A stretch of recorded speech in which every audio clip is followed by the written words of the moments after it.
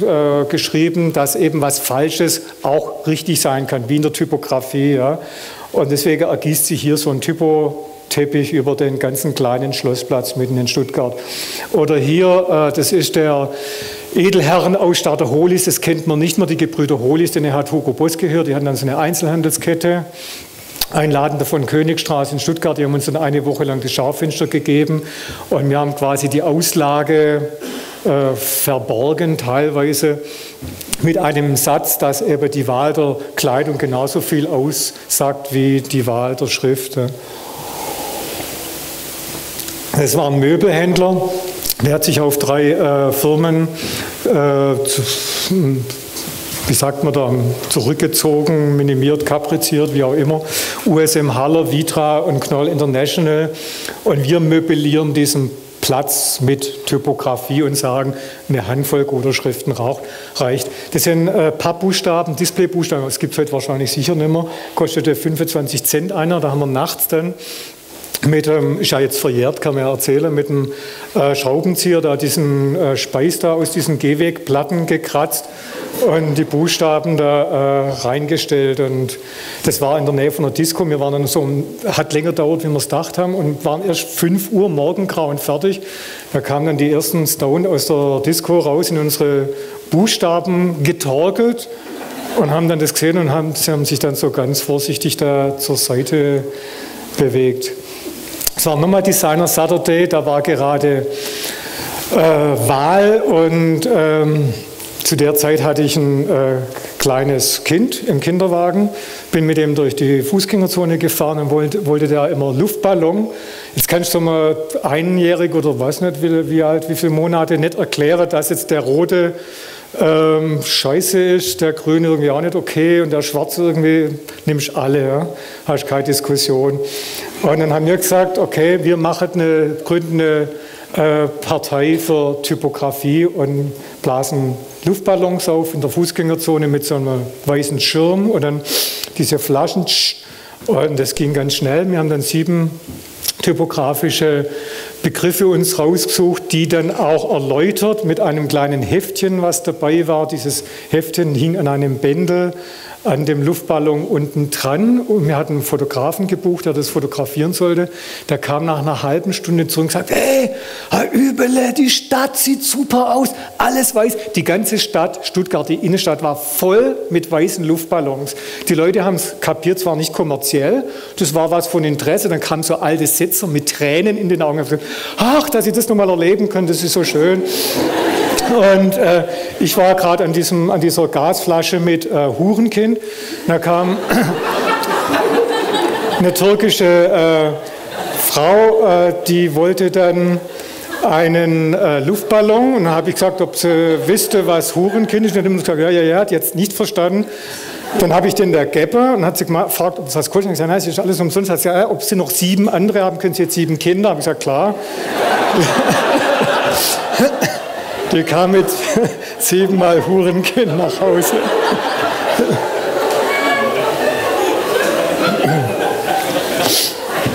Nochmal ein Projekt in München, das ist äh, in der Brennerstraße, Hauptverwaltung von E.ON Energie AG. E.ON stellt Strom her. Die haben Angst vor terroristischen äh, Anschlägen, deswegen durften wir kein Orientierungssystem machen, weil sonst könnte sich mit einer, einer mit einer Kalaschnikow anhand meiner Schilder äh, bis zum Vorstand durchschießen. haben wir gesagt, okay, das ist uns äh, zu wenig, zu unsportlich, was machen wir? Ja, machen wir irgendwie Grafik auf, wenn was machen wir, was fällt uns eigentlich uns nichts eingefallen. Wir haben zwei Tage gebraucht, bis wir draufgekommen sind, dass Fließen, also Strom aus der Steckdose und der Strom, ISA, dass es da eine etymologische äh, Doppelbedeutung gibt. Deswegen gibt es jetzt fünf Ströme, die durchs Haus fließen.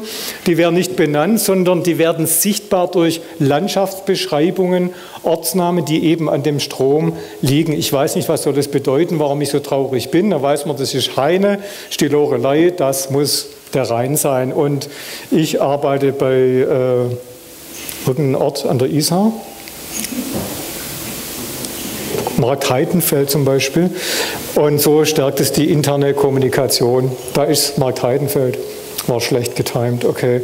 Sie sehen diese Farbstreifen, das sind hochtransparente äh, Siebdrucke auf hochtransparente Folien, weil jeder Fluss hat auch eine andere Farbe und deswegen tausendmal Corporate Design, tausendmal Corporate Architecture und äh, haben gesagt, okay, wir geben dem Arbeitsplatz die persönliche Note, die Individualität zurück. Jetzt gibt es quasi tausend unterschiedliche Farbkombinationen, es wandern farbige Flecken, Flächen, Flecken durch die bunte äh, durch die weiße Architektur. Ich jogge immer so in Stuttgart am Bärensee, das ist so ein kleiner Naherholungsgebiet, quasi mitten in der Stadt. Und beim Joggen während des Projekts habe ich gesehen, dass diese Wasseroberflächen so äh, geometrische Form haben wie fraktale Geometrie und dann haben wir die nachgezeichnet und diese Kilometer innenliegenden Büro, da war es gerade Regen, Sturm, äh, Wände sind jetzt ähm, man kann Multitasking machen, aber nicht Multitasking beim Reden. Gell? Also ich kann jetzt zwei Sachen gleichzeitig erklären. Da diese Wände sind jetzt quasi überzogen mit so einer ganz dünnen Linie aus Spiegelfolie. So, das äh, ist die Fachhochschule Osnabrück. Das war ein ganz einfaches Projekt. Da links unten, da geht man rein, dahinter geht man wieder raus. Also super easy von der Orientierung her. Dazwischen sind Hörsäle, brauchst du eigentlich kein Orientierungssystem. Der Architekt hat aber gesagt, hier Übele, da hast du eine kleine Wand, da kannst du da Schrift hinmachen.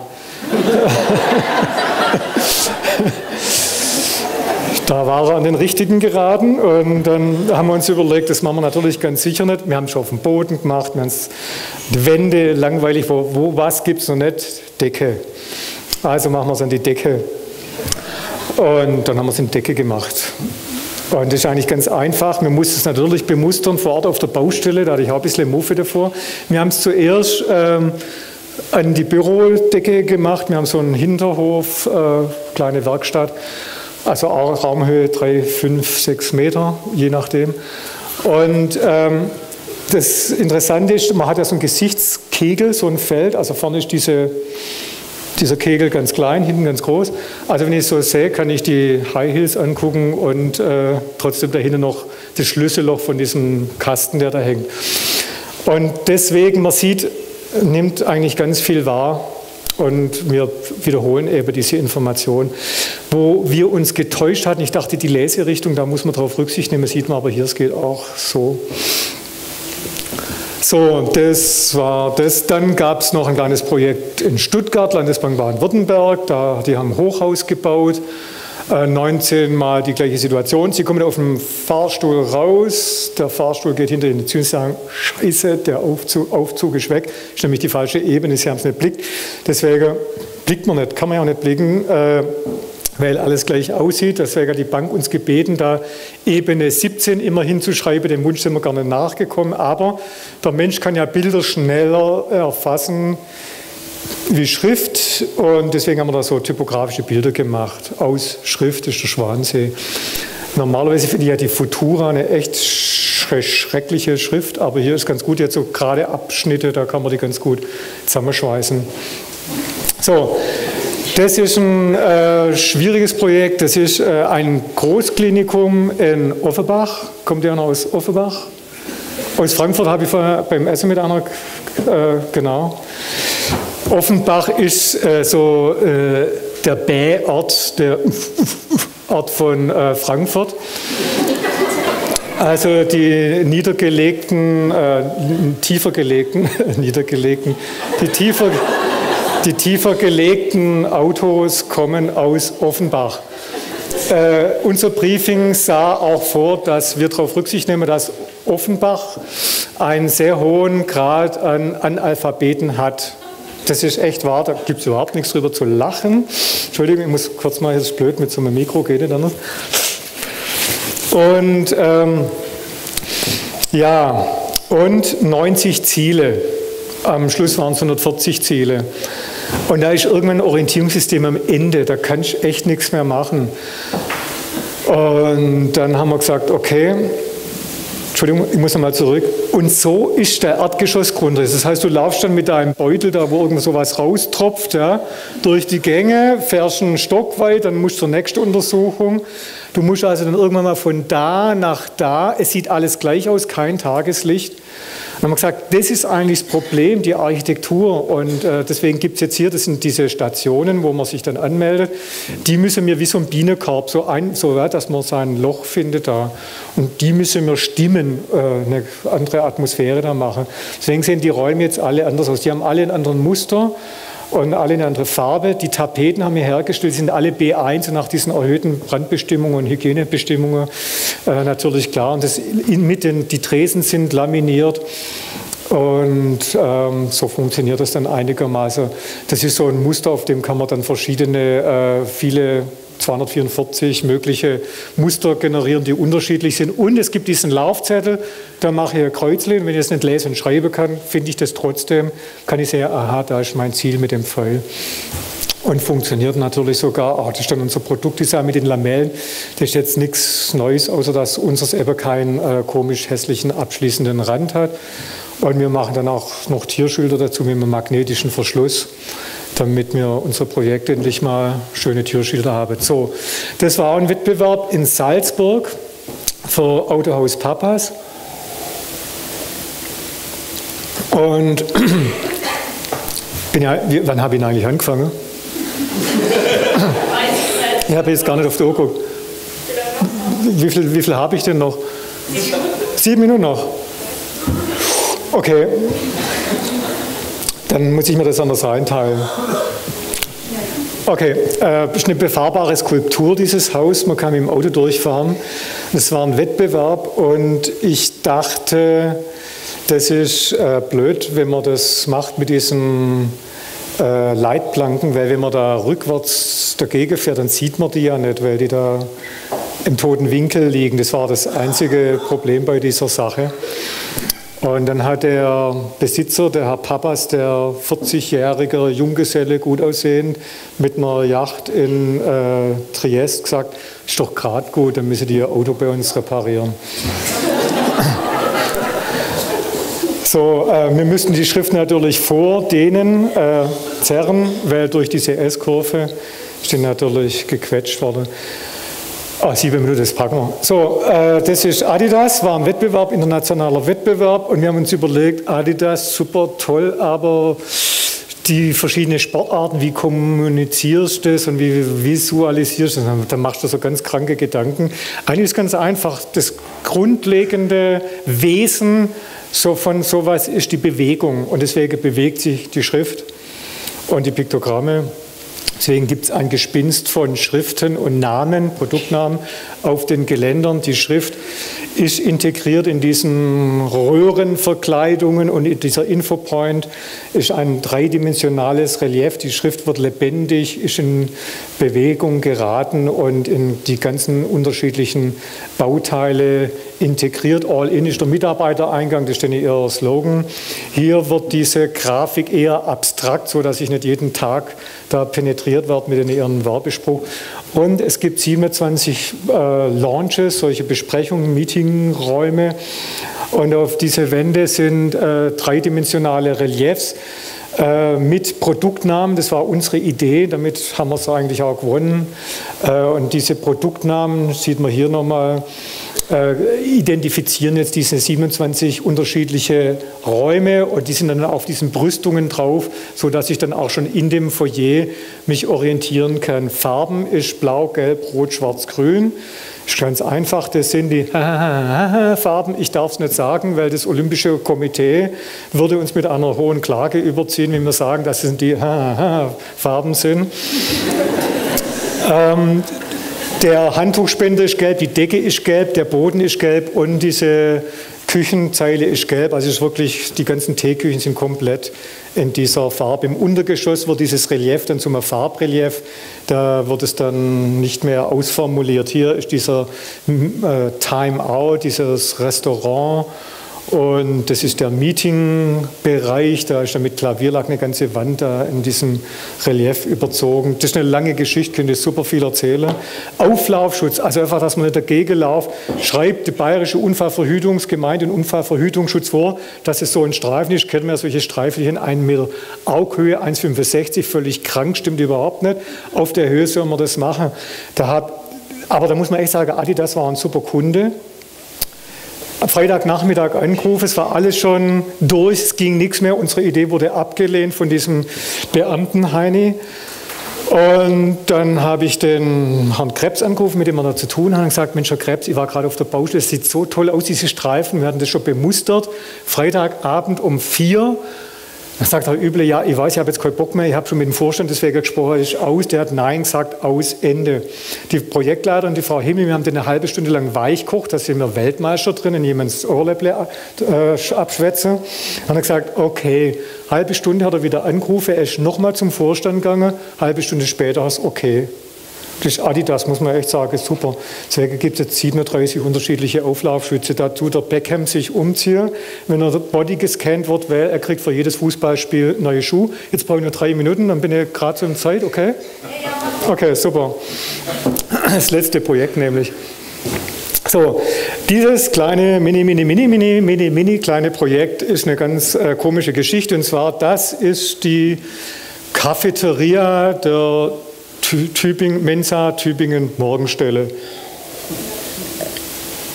Ist ein Bau aus den 60er Jahren. Die war saniert, die war fertig und sah, naja, halt so 60er Jahre mäßig aus, aber nicht cool, sondern kühl. Und dann hat äh, das Studentenwerk und äh, der Bauherr, das Hochbauamt, bei uns anguckt und sagt, okay, könnte da irgendwie so ein bisschen Atmosphäre machen. Sage, klar, da sind wir Weltmeister drin, das machen wir sofort und das war ganz schnell. Äh, wann brauchen Sie es? Dann haben sie gesagt, ja, in fünf Wochen. Dann haben wir gesagt, oh, das ist aber echt schnell, fünf Wochen. Ähm, da war Oettinger noch äh, Bundes, äh, nee, wie heißt es, äh, Minister, irgendwo, wie heißen die Landesminister? Ministerpräsident, danke. Äh, und der war schon gebucht, es war alles fertig. Okay. Und es war Hochsommer und ich wollte gerade in Urlaub fahren. Und dann haben wir gesagt, okay, da fällt mir jetzt nichts ein, aber was ich schon immer mal machen wollte, große leuchtenden Buchstaben in der Decke. Jawohl, super. Dann sind wir da hingefahren und gesagt, wir machen große leuchtende Buchstaben in der Decke. Dann haben sie gesagt, das ist ja super, aber äh, ein bisschen konzeptionell wäre nicht schlecht. Und gesagt, ja, Konzeption ist immer ganz gut. Wir überlegen uns was. Sind wir wieder nach Hause gefahren. haben wir gedacht, okay, ganz schnell eine Konzeption, fällt uns aber echt nichts ein. Äh, was soll denn an der Decke stehen? Cafeteria hat irgendwas mit Essen zu tun. Cézanne, irgendwie, hm, Äpfel, Birne ist gut, Äpfel, Birne ist gut. Also äh, dann machen wir, pixeln wir so ein Cézanne-Bild auf. Tolle, neue Idee. Große und kleine Pixel, da haben wir schon mal eine Wand irgendwo in Ordnung gehabt. Aber was steht oben an der Decke? Ähm, Tischdecke ging irgendwie nicht. So haben wir es präsentiert. Wir hatten noch keine Idee. Das musste ja irgendwie nach drei Tage mussten wir dann den ersten Entwurf präsentieren. Beim zweiten Mal hinfahren, da war ich dann schon auf der Autostrada in Italien und die Projektleiterin, die Frau Klein, äh, dann habe ich meinen Koffer packt, genau so was. Dann ruft sie mich zu Hause und sagt, Herr Übel, heute Abend Termin Tübingen, was soll ich denn jetzt sagen? Ich gesagt, äh, ich, ich sage Ihnen was, ich, hol, ich bin Hölderlin-Fan, schnell guckt, weil Hölderlin hat seine letzten Lebensjahre in Tübingen verbracht, habe ich schnell so ein Gedicht rausgesucht, paar fünf Worte, die passen, habe es am Telefon durchgegeben und gesagt, sagen Sie es der, das ist irgendwie okay, das ist nicht der Hit. Wenn die nichts sagen, machen wir es und wenn die was sagen, sofort sagen, ja, ja, wir finden es auch noch nicht gut, okay. also ich war dann auf der Autobahn, die ruft dann und sagt, Übele, die fand es nicht so gut mit dem Hölderlin. Und dann sage ich, scheiße, ich weiß jetzt aber auch nichts mehr und wir müssen es übermorgen oder über übermorgen ausschreiben, vergeben und da, ähm, okay, wir haben noch vier Tage Zeit, das ist gut. Ich zündete meine Wunderwaffe, ich kenne einen Philosophen, ich kenne nämlich gar nicht, ich kenne seine Frau sehr gut, aber ihn gar nicht.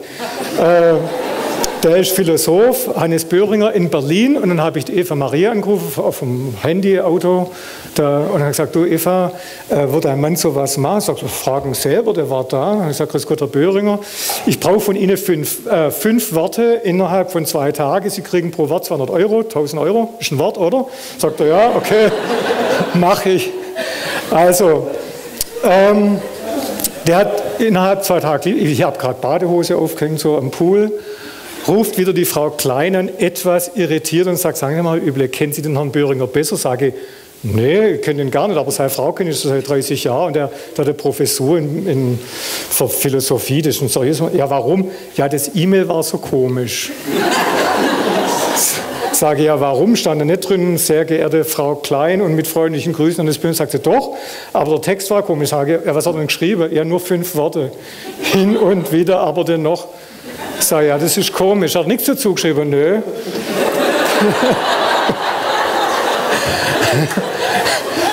er weiß jetzt auch nicht. Ja, rufen Sie ihn halt schnell an und fragen Sie ihn, was er dazu meint oder wie er das äh, vorstellt oder was da der Sinn dahinter ist. Ruft sie drei Minuten später wieder und sagt, Herr Böhring ist im Urlaub, hat aber kein Handy und kein E-Mail und gar nichts dabei. und ich muss jetzt in 20 Minuten losfahren, dass ich pünktlich in Tübingen bin. Sag ja, okay, ich sage Ihnen was dazu. Äh, irgendeine Konzeption brauchen wir jetzt da, damit man diese komische fünf Worte Scheiße heilen sagt. Hin und wieder, aber dennoch, das ist schon komisch. Oh, fällt mir nichts ein. Okay, Studenten, die sind alle in der Postadoleszenzphase. Hin und wieder sollte ich studieren, aber dennoch gehe ich lieber auf eine Party oder so kann ich auch umdrehen. Das hat ich denen erklärt und dann fanden die das auch alle irgendwie ganz gut und dann haben wir so gemacht. Äh, noch eine Lichtinstallation mit LED und so. Alles wunderbar. Eine Woche später war montiert, ausgeführt. Ich bin auf dem Vaporetto, die Frau Klein ruft mir, sieht alles toll aus, fertig, jeder ist begeistert und äh, dann habe ich gesagt, gut, dann rufe ich jetzt den Böhringer an und dann äh, rufe ich den an und sage, ja, ähm, Herr Böhringer, sagen Sie mal, es ist alles fertig, aber mit der Geschichte haben Sie mich ein bisschen Schwierigkeiten. Dann habe ich dem meine Geschichte erzählt. Dann lacht und gesagt, ja, das ist gut, er hat nur den Klang der Worte gut gefunden. Danke. Tschüss.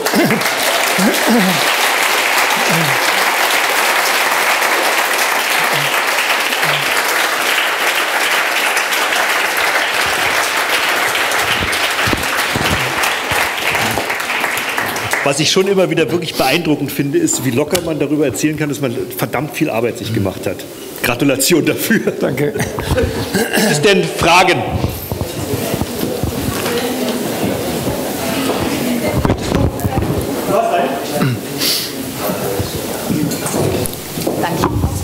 Ähm, was mich interessieren würde, sind Zeiträume, in denen solche Sachen entstehen, zum Beispiel dieses Klinikumsprojekt, äh, weil das ja doch sicherlich ähm, ähm, ja, oder sagen wir mal, oder auch Messe Innsbruck oder so, das sind ja, können Sie einfach was sagen über die, die Zeiträume, in denen man sich sowas vorstellt? Das hängt immer ein bisschen an der Komplexität und auch an der Bausumme von so einem Projekt ab. Äh, das Klinikum in Offenbach hat 150 Millionen, das dauert dann so anderthalb Jahre bis zwei Jahre, es war sehr kompliziert. Messe Innsbruck war im Prinzip einfach, das war auf ein Jahr angesetzt und dann auch in einem Jahr durchzogen. Messe Stuttgart zum Beispiel, eine Milliarde Bausumme. Wir waren von Anfang an mit dabei, hat dann äh, schlussendlich fünf Jahre gebraucht. Ähm. Viereinhalb Minuten der Vorstellung wirklich extrem dicht. Okay. Ja, äh, genau. ja, äh, ja, das ist ja immer wichtig, dass man also ich, ich bin ja eigentlich äh, kein, ich bin ja Autodidakt, gell? ich war beim, habe eigentlich mal, äh, nicht eigentlich, sondern ich habe Architektur studiert, ich war beim Benisch im Büro und der Benisch hat immer gesagt, der schöne Schein ist das Wichtige. Man soll ja nicht sehen, dass es äh, Schweiß kostet hat. Du wolltest was fragen, oder? oder? Achso, Entschuldigung. Ähm, darf ich? Okay. Ähm, wie machen Sie denn das zeitlich, wenn Sie in Düsseldorf sind und aber Ihr Büro in Stuttgart haben? Also, weil die Projekte ja ziemlich groß sind. Wie kriegen Sie das unter einen Hut? Ja, also ähm, unser Büro ist ja nicht so groß. Wir sind zehn Leute. Und äh, das sind aber alles Mitarbeiter, die jetzt schon drei, vier, fünf, sechs, sieben Jahre dabei sind. Und äh, die haben eine hohe Eigenverantwortlichkeit. Die sind alle Projektleiter, die reden auch alle mit dem Chef. Also das gibt es bei mir nicht. Wie in anderen Agenturen, wir haben keine Hierarchie. Der Projektleiter, und sei es ein Praktikant, redet zur Not auch mit dem Vorstandsvorsitzenden oder mit dem Vorstand oder mit dem Auftraggeber, mit dem Inhaber. Das wissen die auch. Und äh, ich bin bei jeder Besprechung dabei. Und wir haben ja jetzt nicht so Daily Work, so zack, zack, zack, so schnell raus. So Sachen haben wir ja relativ wenig im Büro, haben wir auch, aber da gibt es dann PDF abends irgendwie nochmal kurz. Und ja, so läuft es. Also das ist nicht, muss gut organisiert sein. Ähm, ja, ich weiß, dass es äh, Studien gibt zur Lesbarkeit von verschiedenen Schriften. Ähm, testet ihr eure Entwürfe? Uff. Also, dass man mal, wenn ihr sagt, ihr hängt die dann im Büro auf, ist klar ist für euch, aber gibt es auch so Vergleichstest, A-B-Testing, gibt es im Web? Das dass man sagt, zwei Alternativen ganz, gegeneinander und Ganz, so? ganz schwieriges Thema. Also, das meiste, was alles über Typografie erzählt wird, über Letka, das ist der letzte Mist. Das ist wirklich nur Schrott. Nee, es ist wirklich so. Das ist, also ich glaube ja eh nie irgendwas. Ich glaube immer erst nur dann was, wenn ich das selber überprüft habe und wenn ich es selber sehe. Und alle Regeln stimmen nicht. Und das mit der Lesbarkeit, das stimmt am meisten nicht. Ja?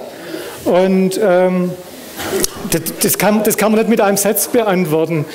Ähm, wir, haben, wir haben das Corporate Design vom Deutschen Bundestag gemacht. Dann haben die uns ihren Vorzeigebehinderten vorgeführt. Ja? Der, hat dann, ja, der hat dann gesagt, er kann unsere Sachen nicht mehr lesen. Ja? Und, äh, und, und, da war Wahl, ja, und die Behindertenbeauftragte wollte das ganze Projekt zum Kippen bringen, weil dann hätte sie irgendwie was ganz Tolles gemacht. Ja. Mein Vater war schwerstbehindert, das gehört nicht zur Sache, aber es ist natürlich meine Keule, mit der er dann zurückschlagen. Sagt, von euch lasse ich mir gar nichts erzählen. Mein Vater wäre froh gewesen, wenn er eure Behinderung hätte. Ja, dann sind die erstmal still. Ja. Das ist, das ist, das ist natürlich gemein, aber die, die, die arbeiten ja mit den gleichen Methoden. So, dann äh, mussten wir da einen riesen Test machen. Ich habe mit Leuten von der Charité gesprochen, mit dem Behindertenverband in Berlin und habe mich mit denen echt auseinandergesetzt. Ich habe die alle besucht und mit denen diskutiert. Die behaupten ja, dass man eine Serifenlose besser lesen kann als Sehbehinderte wie eine Serifenschrift. Das ist für einen Sehbehinderten im großen Maße richtig. Da habe ich denen aber Ausdrucke gezeigt, immer gleich Text, Bauhaus. Ich habe gesagt, guck mal, serifenlose Schrift, super, oder? Die mussten diese These von ihrer Website nehmen. Ja? Und diesen äh, Behindertenbundestag haben wir ganz böse ausgetrickst. Leider war das nicht einmal Idee, es war ein Versehen von mir. Es wäre viel besser gewesen, ich wäre so cool gewesen, wenn ich es mit Absicht gemacht hätte. Ich habe ihm nämlich den, den neuen Test, also einen, Ausdruck, äh, so einen Blindtext, von der neuen Schrift hingelegt, aber es war aus Versehen die alte. Und er hat gesagt, kann ich nicht lesen. Und dann den neuen hat gesagt, kann ich gut lesen, war aber gerade andersrum. Und, dann, und, damit war das natürlich erledigt, was aber auch zeigt, dass die Leute natürlich auch diese Brille haben. Wenn ihr irgendwas euch am Computer immer in Helvetica einstellt, könnt ihr in Helvetica besser lesen. Ich habe jetzt eine Diplomarbeit gemacht über Lesbarkeit von Schrift. Jan Fielig heißt das Student, der hat festgestellt, dass ganz viele Forschungsergebnisse uralt sind, nicht stimmt, dass die voneinander abgeschrieben haben. Und ein ganz berühmtes Forschungsergebnis, der hat alles erfunden. Ja? Das, das ist unglaublich. Also das meiste stimmt da nicht. Wir machen Teste, aber für uns zählt immer die Schönheit. Ich glaube an die Schönheit. Und äh, wenn was schön ist, will man es auch lieber lesen.